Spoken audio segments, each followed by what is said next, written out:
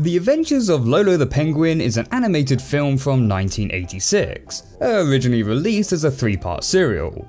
Similar to that of Fritz the Cat, I guess, where three separate stories were combined into a single film. Only difference here, apart from the sex and drugs, is that the three Lolo segments actually link much tighter together, and you could watch them in one block without even noticing. The story focuses on the life of a young penguin named Lolo, who gets up to all sorts of mischievous adventures, which eventually leads to many of his family and friends getting murdered. But we'll get into that in a little bit. This film is actually one that I've never heard of before, but has been long requested by a Patreon supporter, Ramil. Or is it Ramile? R. Ah, Millie? I don't often do requests solely from Patreons, but he has been a long time supporter of the channel, and even has his own channel where he carries out reviews, so do go check him out. Back to Lolo, the film is an interesting one in on itself, as it was a co-production between Japan and the Soviet Union. And though not the first animated film to do this, it was the first to be primarily made in Russia. The animation itself was handled by Russia, whilst Japan acted more of a sponsor, providing film equipment and tech.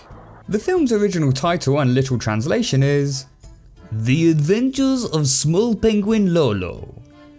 But most people might be more familiar with the later title given, The Adventures of Scamper the Penguin, later given the extra title Tappy Feet. Yeah.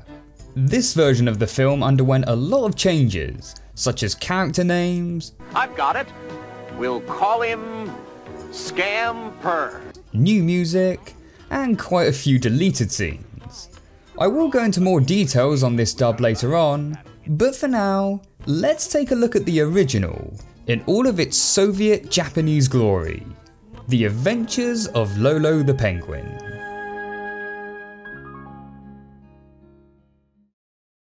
The film opens up with an aurora borealis, Aurora Borealis. Yes. as a narrator introduces us to the basic plot and setting of the film. We see the male penguins arriving in Antarctica as they begin to build their nests, where we very quickly see that penguins are complete assholes. We're introduced to our two main parents of the film, Toto and Lala, who have just laid a clutch of two eggs. The females have to leave to go hunt and feed in the ocean, leaving the males to guard the eggs. One month passes and the females have still yet to return.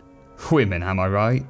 Leaving the males to grow increasingly weak and hungry, eventually driving some of them to go find food for themselves. Of course, the moment the males leave, a flock of gulls swoop in to try and steal the unguarded eggs, resulting in a devastating loss. In the attack, Toto actually loses one of their eggs, but manages to save a neighbour's egg in the process. I'm pretty sure Toto saved the egg from the nest to his right, and is giving the spare egg to his neighbours on the left. Я не забуду этого, Тото. Не зря ты наш вожак. Yeah, stealing from people and wrongly distributing it to others, a great leader indeed.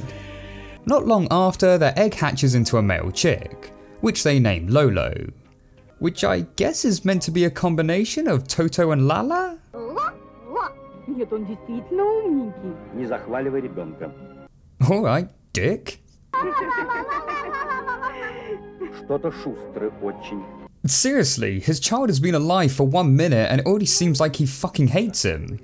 No wonder he was so keen to give his second egg away.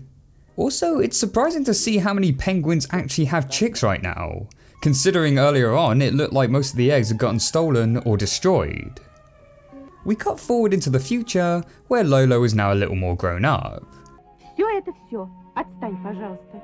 Почему я должен отстать? Ну Что за малыш? And yep, it looks like even his mother hates him now.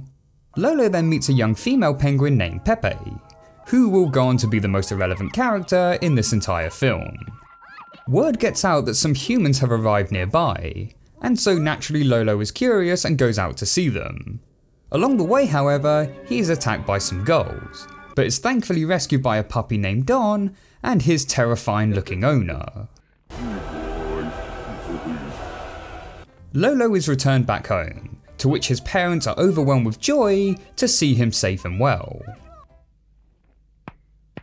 Oh, wait, never mind. Also, is it me? Or does that guy look like he's getting a little bit too much enjoyment out of this? Yeah, now twist his nipples, Toto. The next day, Lolo and the other penguins are at school learning about survival. Really? Because from the videos I've seen, they don't look very calm. Throw their weight around. Lolo quickly gets bored of class, and so he wanders off to meet with Don again. Obviously, that spanking didn't do too much to deter him. Oh, and he also brings along Pepe, for some reason. Interesting how Lolo knows what a chicken is, but doesn't know local animals such as seals and whales. Lolo is then attacked by a gull and rescued by Don and his owner. Again. Seriously, film? First you're repeating clips? Now it seems like you're repeating entire scenes. Word gets out that Lolo and Pepe have wandered off, causing panic amongst the other penguins. Вот беда. Я забыл им сказать, что люди тоже наши враги. Um, no, I'm pretty sure you made that quite clear to him earlier on. Thankfully, however, Lolo is returned home by the human. Again. You gonna spank him again there, Toto? С тобой, Лоло, мы поговорим дома. Aww. More time passes by, and Lolo is now attempting to fly. But a freak accident occurs, which causes him and Pepe to get stranded out at sea. Знаешь что? Будешь реветь? Возьму. See, Pepe? Even Lolo is getting tired of your shit. They are soon attacked by a leopard seal in what actually has a pretty freaky design to it. But thankfully, a killer whale happens to be lurking nearby, which causes the hunter to become the hunted. Remember kids, the seal was evil, so him getting killed and eaten is a good thing. The two are eventually rescued by a group of humans, only this time they aren't friendly, and turn out to be poachers. They have the penguins thrown into a cage, where they are planned to be sold off to a zoo. And Christ, if you thought the first human guy was scary, just wait until you see the look of these guys. They meet a young macaroni penguin called Mac. Меня зовут М- Чему же, Мак? Давай лучше убежим. Я уже пробовал несколько раз. Как видите, ничего не вышло. Gee, if only we could somehow slightly squeeze through these wide cage bars. Fortune has it, however, that a storm hits the boat, enabling the penguins to break free. But thanks to Pepe, their freedom doesn't last too long. Good job there, Pepe, and they are soon chased down by the crew. Seriously, what the fuck is with these faces? With some help from the boat's watchdog, the three manage to escape. they come across some friendly blue whales who offer them a ride back home.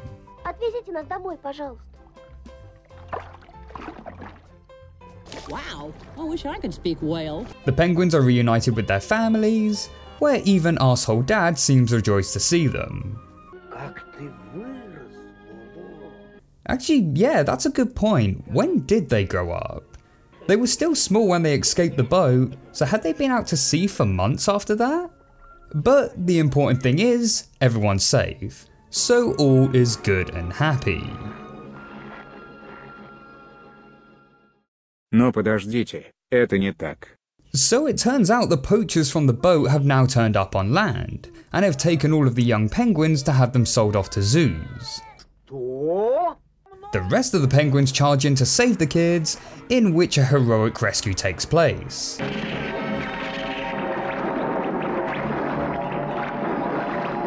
Jesus Christ, what the fuck film? So far, this film has actually been pretty tame with the violence. Sure, there was a little bit of blood and some creepy looking scenes, but now we've suddenly gone into a penguin massacre. Mommy, can we get happy feet? Oh, Snookums, we have happy feet at home. The blast from the guns triggers a large chunk of ice to break into the sea, causing a tsunami which engulfs the entire boat. Oh no! Killing off all the poachers, and probably also the nice dog that helped him out earlier. Unfortunately, it's not all quite a happy ending though, as Toto was one of the penguins killed off in the attack, and so a new leader is needed to take his place.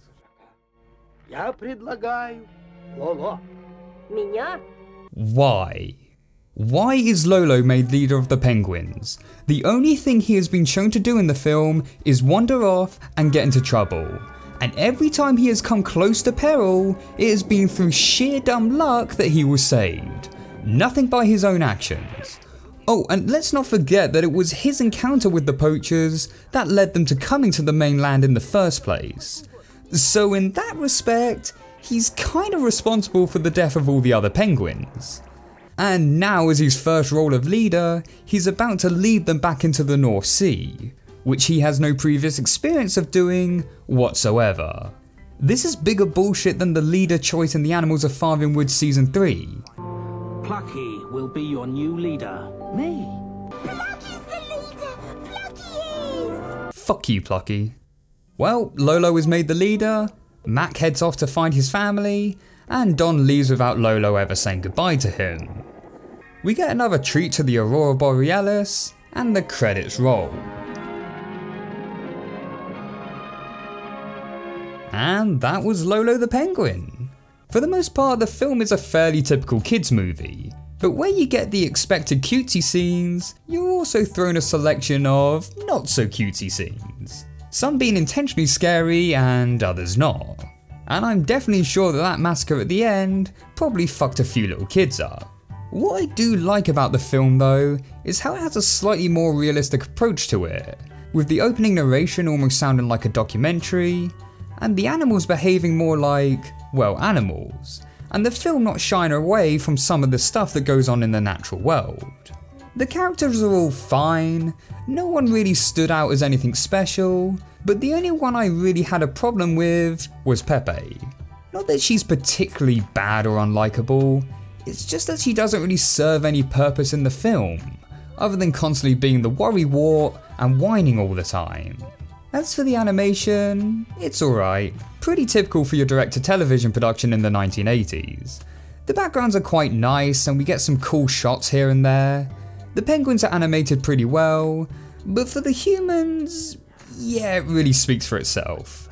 I did notice the film is a bit cheeky in how it will reuse certain clips multiple times, but it's nothing horrendous. One of the highlights of this film, however, has to be the music. It offers a constant charm throughout, and I just love the main theme and how grand it sounds.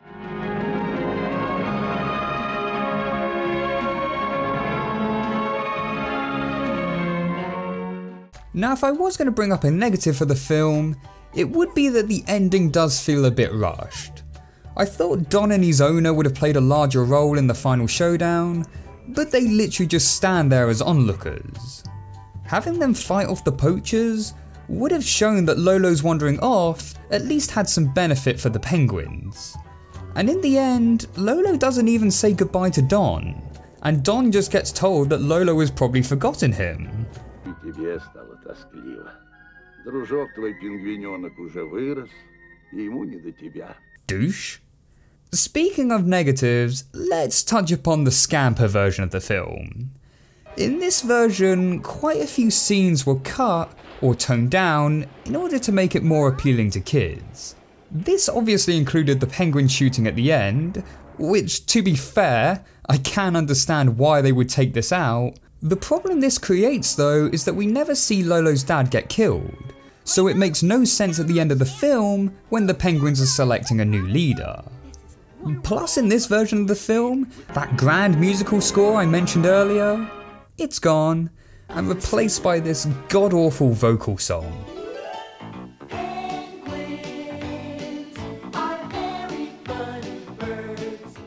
Hell, they even cut out the Aurora Borealis scene at the start of the film. Uh, Aurora Borealis? Yes.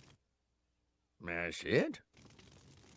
No. If, however, you do want to check out an English dub of the film, there is another version that was released after the film came out, which actually keeps most of the original product still intact, including the names, and of course that grand music. You can actually find this version on YouTube, which also adds in the deleted scenes with added English subtitles. So my recommendation would be check out the original dub if you can. You can watch the English dub if you really don't want to read subtitles. And just give the Scamper one a miss altogether. Anyway, that about wraps up this review. Thank you so much for watching guys, and don't forget to like and subscribe if you enjoyed. Let me know your thoughts on Lolo, and any other films you think I should cover next. But until the next one guys, take care.